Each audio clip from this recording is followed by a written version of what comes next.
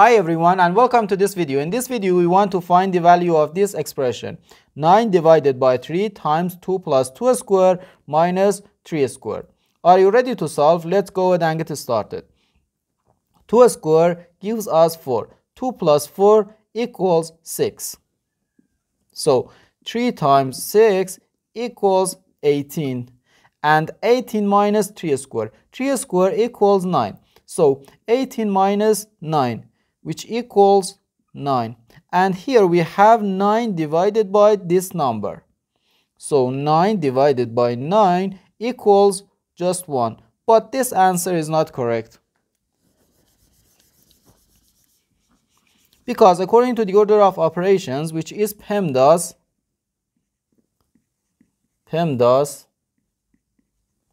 P stands for parentheses E stands for exponents, M and D stands for multiplication and division, and A and S stands for addition and subtraction. We first do parentheses, then exponents, then multiplication and division, and finally addition and subtraction. Remember that multiplication and division have equal priority and we have to work from left to right and the same applies to addition and subtraction. So here uh, first we have to handle these parentheses then this exponent. And finally uh, uh, excuse me uh, next we have to handle this division and finally this subtraction. Now inside these parentheses we have this addition and this exponent. According to the PEMDAS first we have to do this exponent. 2 square gives us 4 so 9 divided by 3 times 2 plus 4 minus 3 square. No, 2 plus 4 gives us 6. So 9 divided by 3 times just 6 minus 3 square. No, we have to handle this exponent. 3 square gives us 9.